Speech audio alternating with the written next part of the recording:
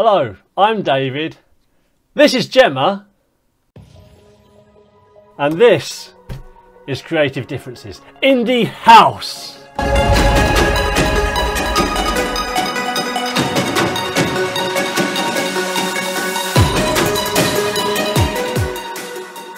Um, with regards to writing, what is your method as a writer? Is it always the same, regardless of if if you, ah, hello, one of your dogs? Really? yeah. Um, is, is it always the same? If, if you're doing a short film or a feature film or a, a corporate script or whatever, is your process always the same? I think it is. I'm trying to regiment it at the moment so that it's more productive. Um, but what I seem to always begin with is I have like an opening, I an opening scene that just comes to life in its entirety. Right. Um, and then I decide whether or not that opening scene is interesting enough to make me want to watch more. So I, it's almost like watching a movie in my head. Yeah, yeah, yeah. Um, and then so then I'll, I will get that down on paper and I will write for as long as I can in one stretch to see where it goes. And then when that stretch is over, I go away and I analyze what I've done and I outline a potential story Okay. for that character slash characters as like like a treatment in a way. Uh huh. Uh, I mean, I'm doing it now with a series I've started called Paper Thin. Right. It's a, a, a dramedy series, um, and I've kind of I've done six episodes of outline, Uh-huh. but I've also done. Uh, I've also got two ideas for two other episodes, so I could stretch it out to eight. Um, and I didn't used to do that when I first started writing. I would just I would just pick it up from where I dropped it and Mm. try to carry on. Mhm. But that's actually not a very productive way of doing it at all. Um, if you outline it, you map out your story, and it's it it stops me getting writer's block, and it also means I'm going to get to my end Okay. because if you tr- if if I in the past when I've tried to freestyle it the whole way, I get to a point where I'm, and it's usually at the end where I go, oh, I wish I knew how to finish this the way I'd known how to start it Uh huh. like th- it was like this intuitive complete idea at the end like there was at the beginning and yet it, it never is but if i outline it i get somewhere close to that Right. So you do like a like a map. If, the the film is the journey, you do you do your map. Do do you do like points that you have to hit? I by by this point I need to I- have done this. um I it's not really points i have to hit because like um i mean there are so many kind of screenwriting methods or mythologies like the circle um by dan harmon things like that and i've tried to engage in some of those to see if it improves my writing or improves my prolificity but i'm i'm quite a prolific writer as it is i don't i don't suffer from writer's block very Mhm. often um so i don't know i don't think i'm that strict with myself i think i'm still trying to find my own system that works for me Right. by adopting elements of other people's Uh huh. and seeing what works for me and what doesn't. But what I do find really hard is the rewrite. Like Yeah. I'm doing a rewrite on something that I think you've read in the past, a long, long time ago. Um, and it's like, wait, yeah, it's that. And it, it is a trauma. It's a trauma just trying to re, redraft this thing. It's like wading through treacle. It's a nightmare. And what I've done with it is I've, I've, one of my little notebooks, and things rest right now. I've, um, I'm, I'm writing down what each scene is right. uh, like a short sentence because it's I exported it and it turns out that it's like 140 pages and I wouldn't even let someone read 140 pages let alone film 140 pages um, it needs to lose 30 to 35 pages Right. so what I'm doing right now is I'm going through it with a fine tooth comb, writing down every little scene and what every little scene's what it's achieving in the uh-huh. story and how it is or is not moving the story forward. And I am trying to go through it and be brutal and cut tons of stuff out. And then once I've cut that out, I need to put it back together again, see if it's coherent, which I'm expecting it not to be, and then have to make it coherent in the following redraft. Okay. Um, but I've also had stronger ideas, some stuff I want to take out, some things I want to put in. Um, so I don't know how long it's going to take. Like I promised to send it to someone a couple of weeks ago for them to read, and I had to get back to them a few days ago and go. I, I thought it would be ready by now, but it's taking forever, and I'm too embarrassed to send it to you in this current state. So I'll send it to you when I can send it to you. And they've been really great. They laughed and they were like, "It's fine, you know." Can give you notes on it whenever. I was like, I'm just not prepared to hand this to you. I was like, it'll be like torture not giving you that to do. Like, I need to just engage some objectivity of my own and be brutal with myself and then send it to someone for, Oh. for evaluation. But I, I don't like the idea of completely throwing away any of my ideas. Mm. I've got stuff that I've put aside because I've got stuck with it and not known what I really wanted to say. Um, but I think I will always go back to stuff and at least steal a few ideas from it if I can't complete that I did if I can't complete that particular narrative. Um, but I haven't written anywhere near as much as I would like to have written, and uh, that's why this year I've been focusing on that a lot more. I've I've written two and a half episodes of my series, and I've written um, the outline, the Bible for the for the series, um, and I think it's one of my strongest ideas. And I, it's weird.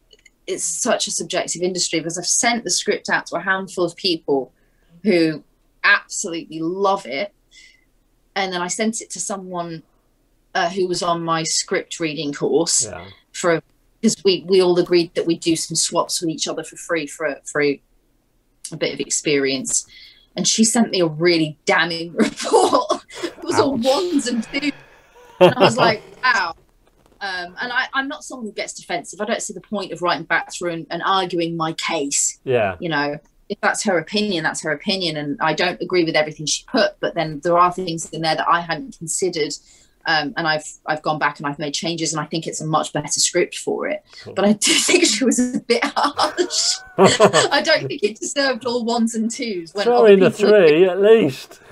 it's at least Um, mediocre. Come on.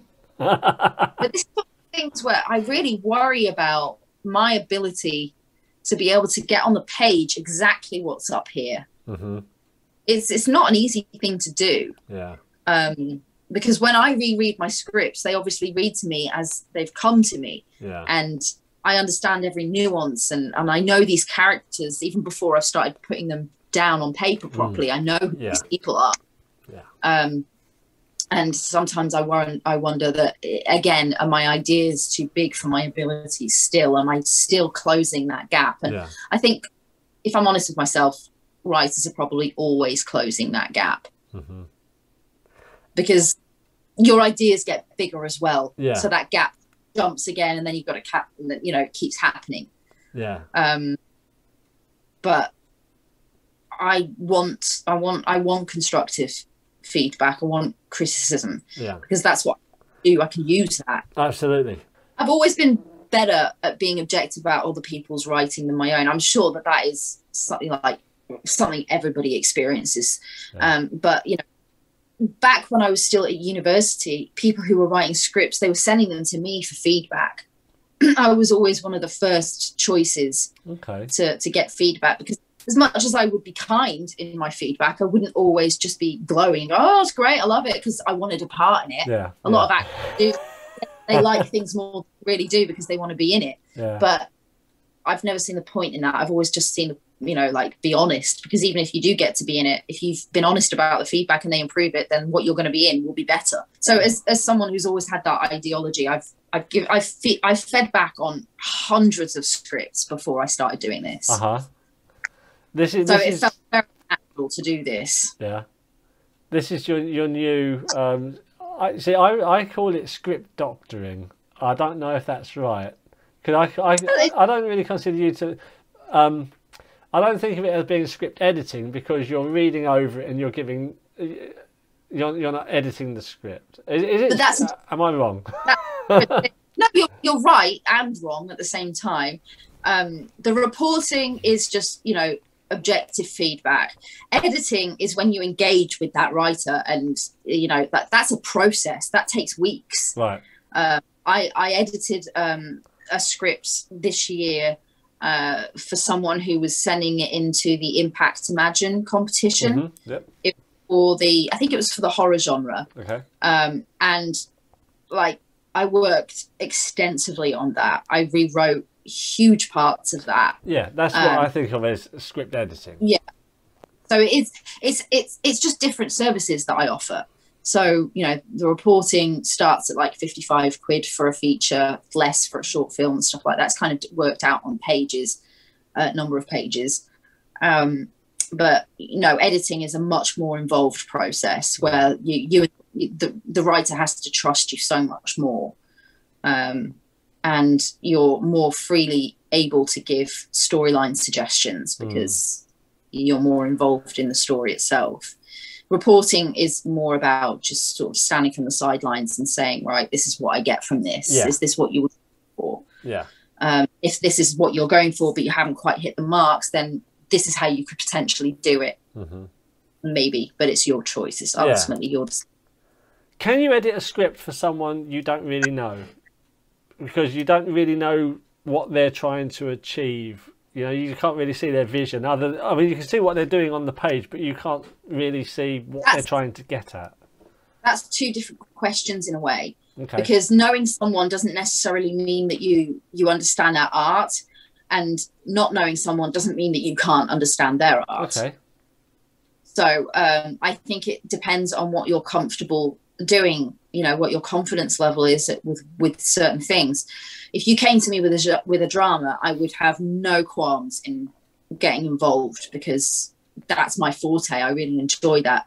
At the same in the same way i kind of i, I had no problem with the horror because it was quite a character driven piece um, and thrillers also tend to be quite psychological and character driven as well. So i, I can expand.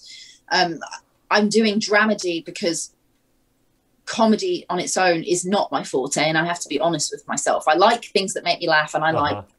I want to make other people laugh, but um, I, I like a little bit of slapstick and and and things like that, which you can throw into a drama Yeah. to, to to break up tension and stuff like that. Whereas something like absurdist comedies, I enjoy watching them, but I'm not.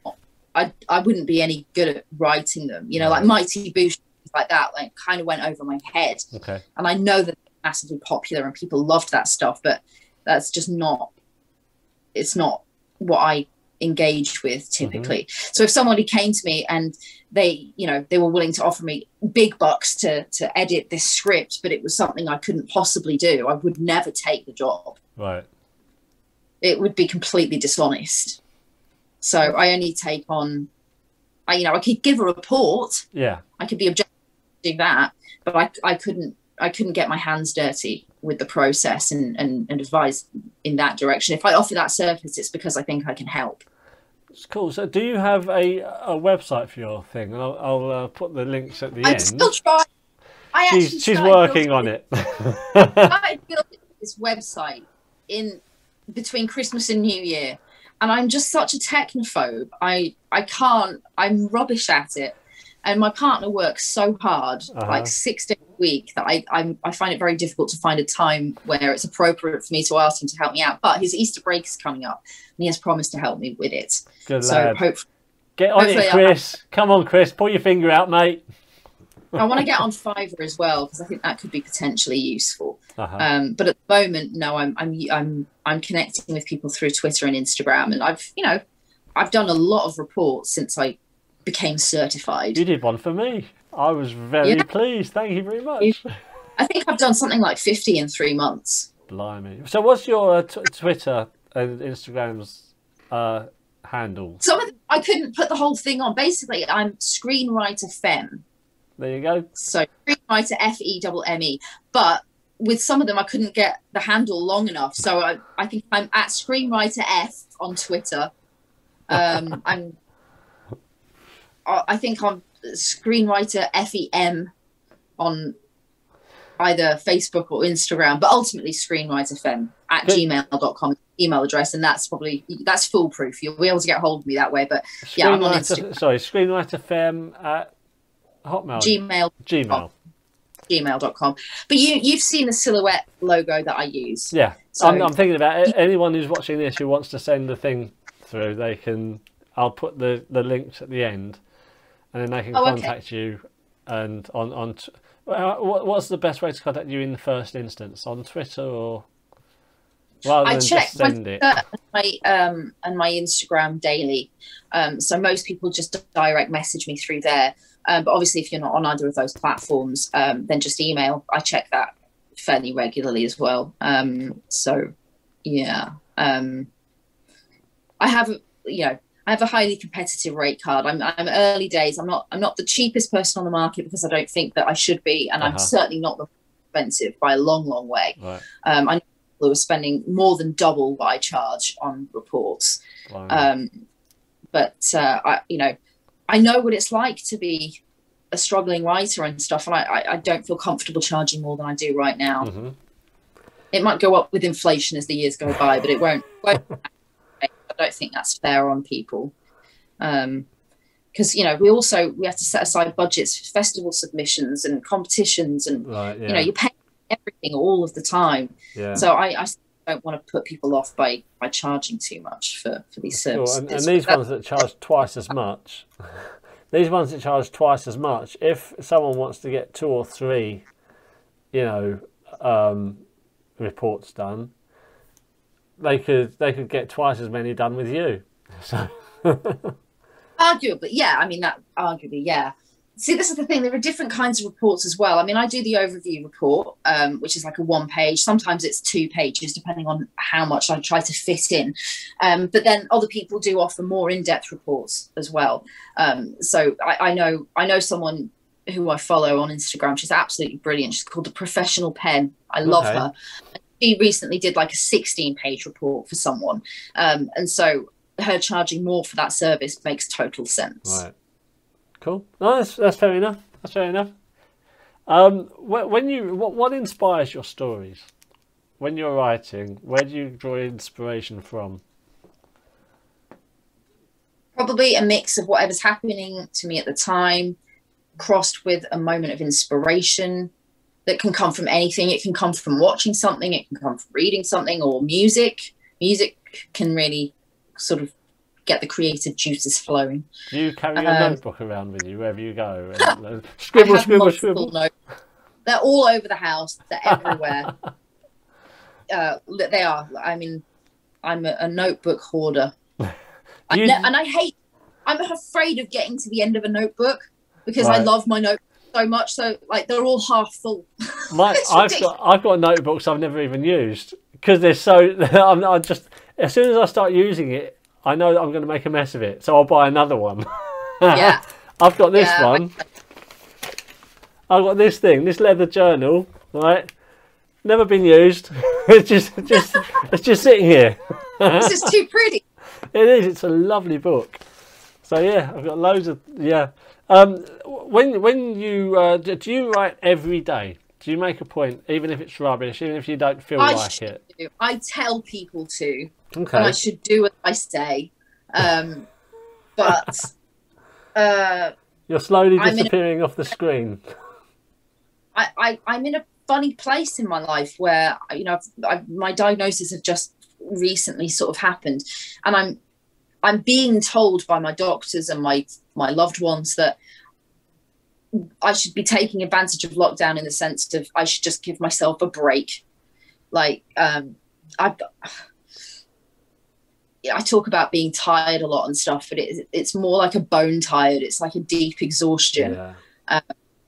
and I've noticed that if I if I set an alarm for myself um, that wakes me up even an hour earlier than than what would be my natural wake up, Mhm. I start to display symptoms of having like a cold or flu and stuff Right. like that. So um, I'm not to go too much into my health and stuff, but I've had a, a lot of blood tests recently and things like that, and um, there's a problem, and I don't know what that problem is yet, and I've had to be referred to a specialist. Um, but I wouldn't be surprised if I get told like you need to just not work for several months because you know Yeah. you're you're not well like I've, I've been coming out in like um s- like swellings and hives and and I've never had anything like that before in my life. But the day before yesterday, I woke up, one eye was shut, my lip was swollen, and I was really worried about doing this with you because I Oh, was like, if I wake up and I'm and my face looks like I've been Yeah. stung by bees, then I, you know, I'm not want to do it. Yeah, um, absolutely. That. But that's been happening a lot over the last few Is it months. stress related then, or I, think it is. Um, but I've been referred to the allergy clinic. There's a problem with my white blood cell count, which I don't fully understand what that means Hmm. at the moment. Um, but yeah, so normally I would be giving myself a hard time and demanding that I write every single day Yeah. because I did get into that routine for Right. a long time. Um, but now I'm actually trying to do the opposite of that and going, you you don't have anything to write today, so don't force yourself to do it Yeah. because you're tired. And um, you know, if I don't properly rest, then what if I never get completely well again? Hmm. So I'm trying to be kind to myself in a Yeah. way that I'm not used to. This is not. No. this isn't a comfortable. the thing place is though, yeah, I feel guilty when I don't work. Well, this is the, th- the thing that some people don't understand is that creating can be a way to relax. It's like you know, even if if your job is writing, it depends what you're writing. Because Mm. if you've got an idea for a, a, a short film, that writing, getting that on paper, it, it takes your mind off everything else, and it makes you feel good because you're achieving something. It's a bit of escapism for you, and it can actually, you know, help the endorphins to to flow. And so sometimes Ah. that is the break. You know, just writing something that isn't related to work. Yeah, yeah, true. I think that's when I first started writing paper thinners. I was just having fun with it. Um, but as with anything that you take seriously and fall in love with, you know, in order to get to the end, in order to complete this thing, I'm going to have to set myself deadlines. I'm going to Mm. have to follow through on what I try to set myself to do. Do you do it in Um, stages, like finish? You know, I'm going to use terms that I don't fully understand in film. Finish Act One by a certain time. Finish Act Two by a certain time, and Act Three. I don't write that.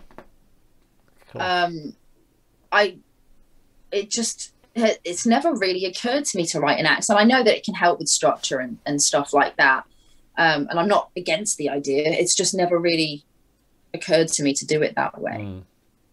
Can you watch a Um, film? It's just probably a stupid question, but can you watch a film and say that's the end of Act One? What do you mean my film No, no, a, film. If you put a film on, on you know, you, you put you're watching a film, you're at the pictures, you're watching Avengers or something. Can can you sit there and say, right, that's the end of Act One, we're in Act Two now? Because that's Yes, what I I'm- can't. I can't do that. I I, I get absorbed into the. Fi- Sorry, gone. no no I, I I can sometimes I can and sometimes I can't. It really depends. Like things like the mumblecore films and dramas and stuff like that, they can be harder to to find those definitive moments. Right. Um, but in things like horrors, they're quite clear. And things like thrillers, they're usually fairly clear. okay. Um, and then you know, then TV stuff is even clearer in a way, especially something that's kind of written that way. Like, did you ever see The Affair? No. If it's not a Well, just- comedy, probably not. watch no it's it, but it's it's an interesting way to tell a story because uh they tell this one story from multiple characters perspectives Okay. so part one part one is Alison part two is Noah part three is Cole so on and so forth so you can see that there's kind of acts in how they break that up depending on which character's perspective it's coming from but one of my favorite elements of the affair is that not everybody is a reliable narrator right. Okay. and I love that Yeah. because the, I'm not going to ruin it for you because there's one character who is very much an unreliable narrator, and I didn't even realize that that's what they were doing until I got to the final season, and then I looked back on everything that he'd shown us from his perspective. Um, and the things that he'd said and the things that he'd seen and the outfits change and things like that and i realized this character lies to himself as much as to everyone else. Therefore, he is an unreliable narrator. Right. Um, and I just think that that's, I think it's brilliant. I think it's very clever, and um, I think it's a really, really good show. I think it's a bit of a love hate thing about the ending. Some people loved it, some people hated it. I, I kind of, I wasn't really on board with it the first time because I don't know whether my expectations were just too unfairly high or whatever. But I've just rewatched the whole series now, and I got to the episode, the last episode, two days ago, and having binge watched it and seen it all in one go, it's actually brilliant. Cool. The affair. Highly recommend. Is that on the Yeah. Netflix Uh, or the Amazons? I can't remember. Sorry. Whatever. you should watch this thing. I don't know where it's on.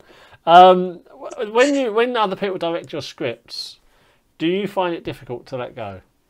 no, No. Cool. usually Excellent. because I've hired a director that can see the same thing as me. Like Right. the writer and the director aren't aren't in agreement with each other. That's not a good thing. Right. You should be on the same page because you know it's almost like the cam. If you're the DOP, then the camera is an extension of your arm. Mm. I feel like the director is an extension of the writer. Okay. I, I think of it as like the, the writer is the writer, the director is the narrator, the DOP is like the illustrator, you know, Mm. the actors are the, the the pictures, the imagery. If, if those three departments don't share a vision, Yeah. you're the mess. No, absolutely. Yeah. Good good answer, Gemma. Good answer. um, what what does the uh, foreseeable future hold for you? Are you have you got anything sort of planned? right now i'm just i'm just wanting to to take a bit of more of a break i was hoping not to at this point i was hoping that at this point after nearly a year of lockdown that i'd be okay but it's been a very stressful year it's you know with chris's his treatment and and everything like that um because we've been so isolated Mm. we're nowhere near family i was you know there have been months at a time when i've had to do sort of almost everything for him Right. um, quite exhausting. But right now, I'm just feeling very grateful that he's well Yeah. um, and that he's back to work and he's feeling feeling himself again. Um, and uh, I'm in a position where I've finally been diagnosed properly and I'm, I'm getting the support that I need for the first time.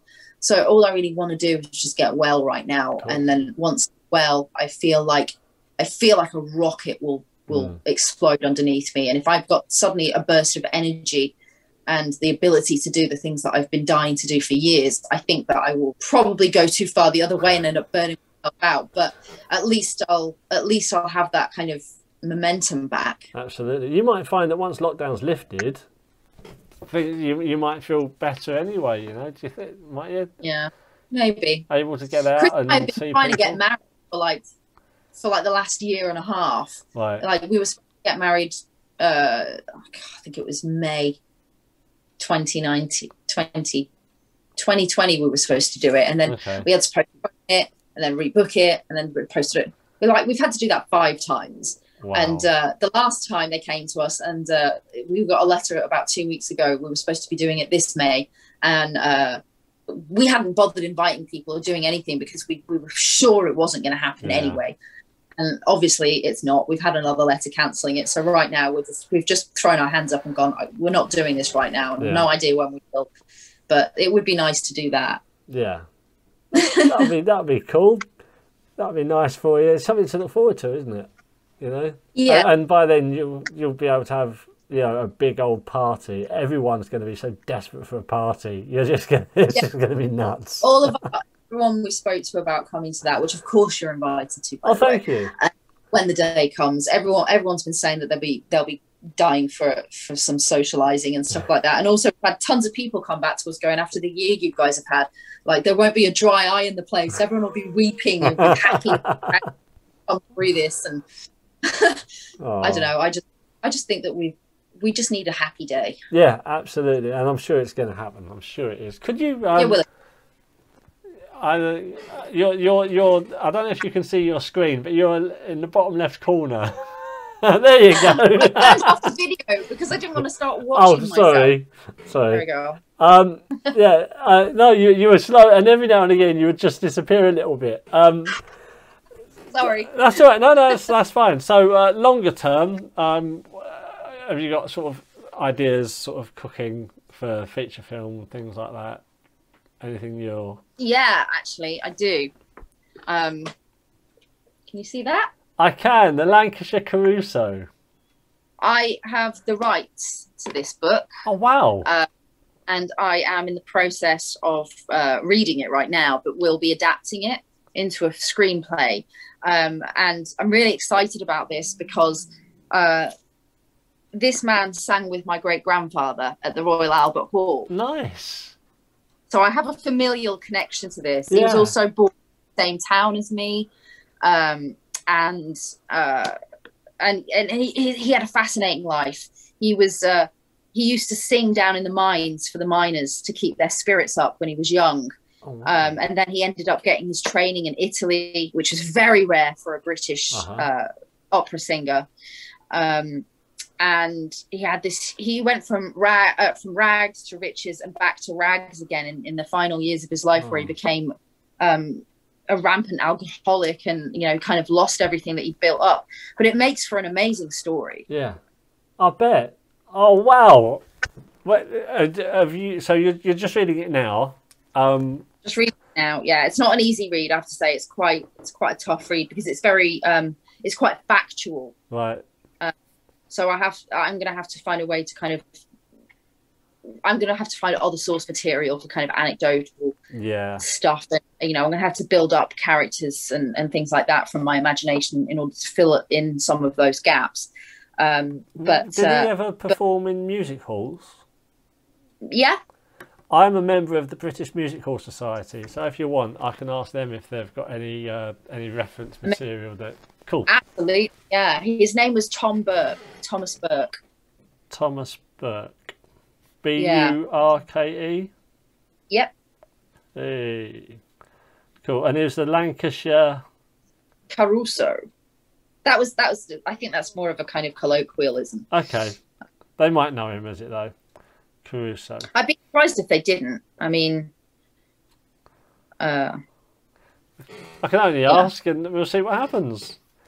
awesome. Um, Thank you. No, you're totally welcome. Totally welcome. Um, right, so with everything that you've done, um, and you know all these different uh, strings to your bow, what do you know now that you wish you knew when you're starting off? Um, I'm I'm assuming the the whole thing with the university lecturers. Lots of things. So many things. Like we've discussed before, I, I would I would have liked to have done all uh, uh, you know a lot of short films whilst I was at uni to, to have a show reel portfolio ready to go out to agents the moment I graduated.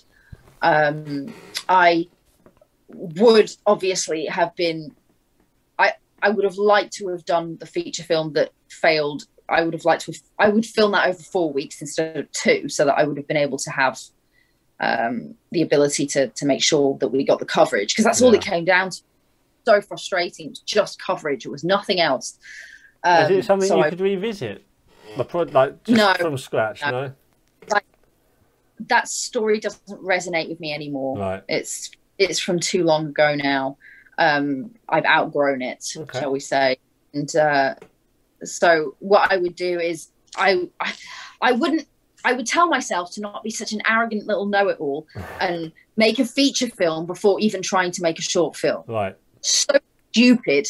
But it, it wasn't because I thought I was the dogs or anything like that. It was because I thought I didn't want to um, invest in this equipment and pay all these people if I didn't at least have a chance of making some money back. Mm. And I thought, "Mm, you don't make money from short films. Right. They're a calling card for further work. Yeah. Um, and what I should have done was postpone making that feature film by a year or two, worked on the script even more and made it better than it was because it wasn't really as good as it could have been. Right. Um, and in that interim time, uh, because I was doing, I was working, that was straight after uni, really, very shortly after uni.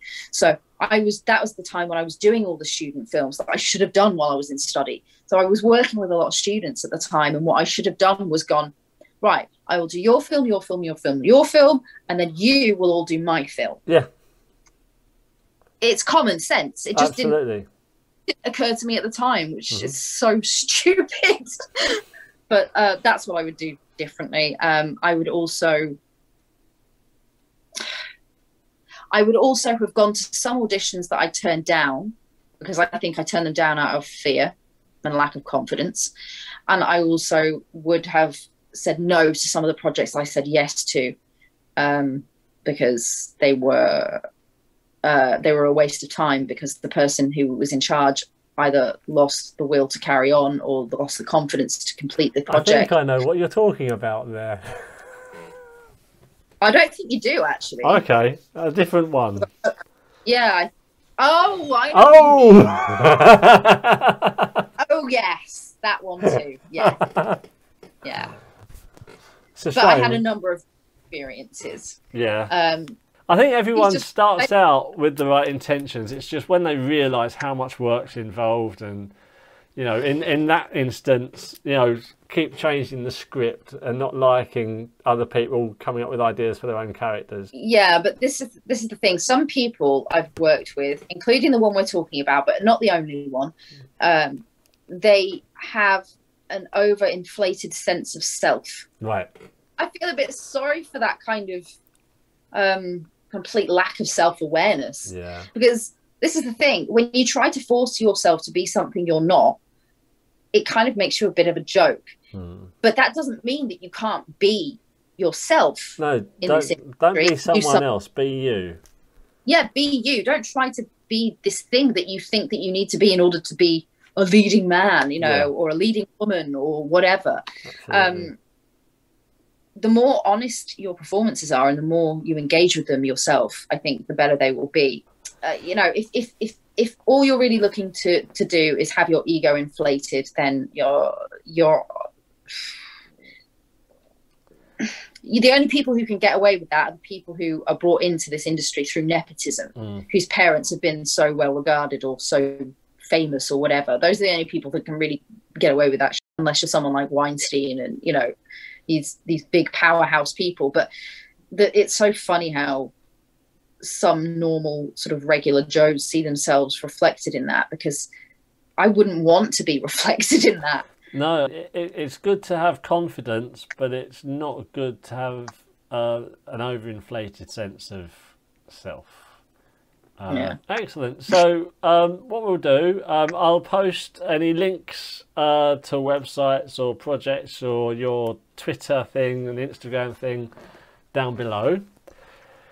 Um, if you're enjoying this show uh, and this channel, uh, do like, subscribe, and ring my bell to get notices, notifications, and things. Um, is there anything else you wanted to to discuss? not really You good? i'm good